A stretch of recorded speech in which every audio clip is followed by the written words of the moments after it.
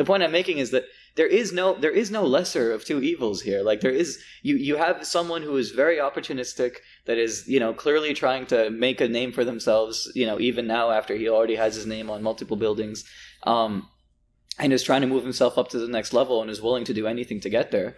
Great, there's Donald Trump. But you also have Hillary Clinton, who is once again part of every evil that this you know that that that the that, that the U.S. regime has been a part of in the past how many how many decades, and and and she she's been a part of it. She's been supportive of it. She's been integral to it.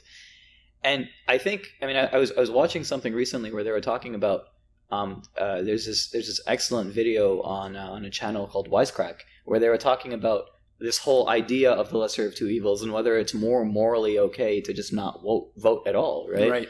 And what they were saying is that if you make one candidate the embodiment of all evil, then doing anything to defeat them being becomes okay because then you can support the other candidate who's also just a little less evil. And where where I mean, where does that logic go? Are you can you kill people to stop a candidate who's the embodiment of all evil? Can you you know okay, can you can you punch you know children? Like what can you do to Right. stop this candidate who's the embodiment of all evil?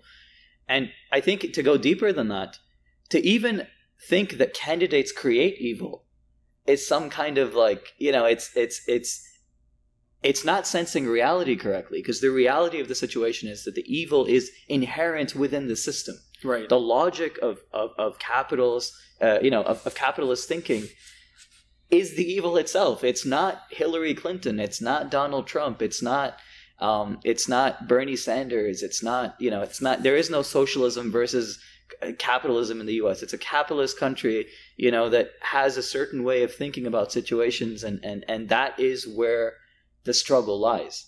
And if someone isn't questioning that logic why bother supporting them? Because they're just going to create more of the same. Like what is hillary clinton not going to do that donald trump is going to do? Right. And that's fundamentally the question that i think muslims have to ask themselves before they go around you know with this defeatist mentality of oh well i guess we have to vote for the person who may potentially kill us less Right.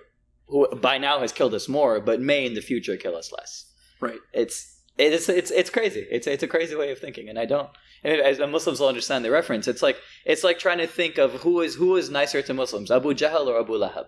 Right. Right? Like was the was the uncle of the Prophet a little better? You know, Sallallahu Alaihi Wasallam? Um, because you know m- maybe he didn't get a chance to kill as many Muslims before he, he or was Abu Jahl worse? And so, who should you vote for? Should you vote for Abu Lahab or Abu Jahl? What difference does it make?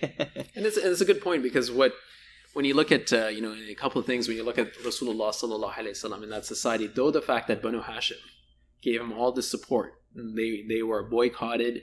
Uh, like even Banu Hashim, the non-Muslims of Banu Hashim were boycotted along with him, yeah, uh, where they were effectively put in a, what we would call today concentration camp. Yeah. You know, he never got into those tribal beefs. Like there was like beefs between, uh, like you know, uh, Banu Makhzum and uh, Banu Umayyah and uh, Banu Hashim. Yeah. But he never like, even though he was being supported.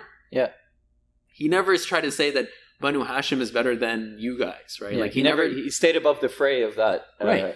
Tribal Exactly. nonsense. Yeah. right and and and that his his what his, his message was to call to Allah subhanahu wa ta'ala talk, call to the creator right and it kind of goes back to what you were saying about about um, uh, the sort of the sort of the issues when it comes to when you're actually voting do you really know what you're voting for Hmm. right so for example there was i remember seeing uh, this protester at um, on in the she was protesting at the DNC, the Democratic National Convention. Her name was Jacinta Mack, and she said, "I'm never going to vote for Hillary." She was a Bernie supporter.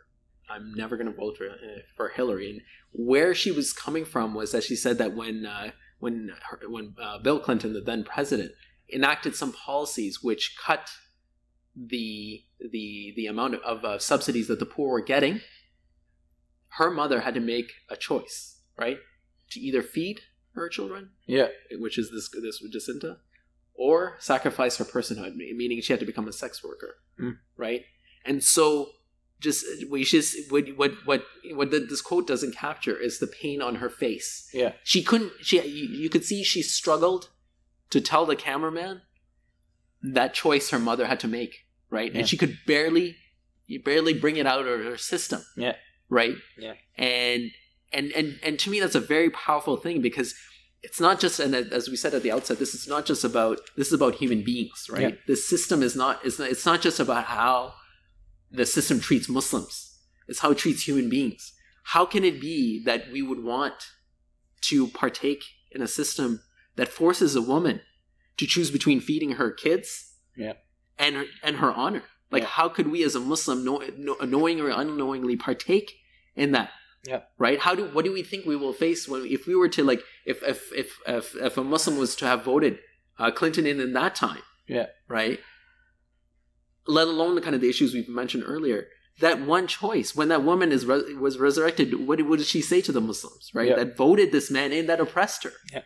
Yeah. right how how could we face allah subhanahu wa ta'ala on that day knowing that we implemented and were part of that oppression And I mean, Muslims, I don't think in America like talking about this right now.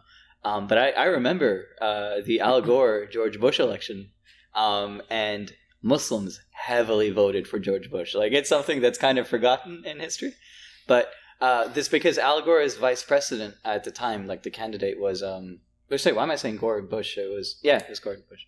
Um, it was uh, what's his name? Um, Lieberman. Lieberman, yes. And Lieberman was very, very pro-Israeli, and it was known that Lieberman was very pro-Israeli. And this was around the time of the Second Intifada, so you know we were seeing the brutality that was coming out of uh, out of Palestine, um, you know, at the hands of the of the IDF, and it was it was difficult to to see those things. I remember watching these newspapers and you know looking at them and seeing like a shelled child. Uh, is it, I, I still remember that image. It stays with you because that's you don't forget stuff like that. Um, I was quite young at the time. Um, and I remember all the all the Muslims were saying, "Well, you can't vote for that guy, so we have to vote for George Bush." It's Right. it's known that we have to vote for George Bush. I don't know how this was ever found out, but there were like statistics going around that eighty percent of the Muslim community voted for George Bush. I don't know how that was ever found out, so I don't know if that's a true statistic, but there the sentiment was there for sure, absolutely. And the minute he, you know, got into power, and then the eight years that followed, Muslims know what have ha- what's happened. right He was the lesser of two evils at the time. Right. And so, but even beyond that, forget what he did to Muslims. Though we can't, but still, like put that aside for a second. Look at what he did to everybody. Look, look at look at the financial crisis that happened that destroyed, you know, uh, the, the, the, the the working and middle classes. Look at his education policies that went nowhere. Look at his treatment of, you know, any any any subsection of American.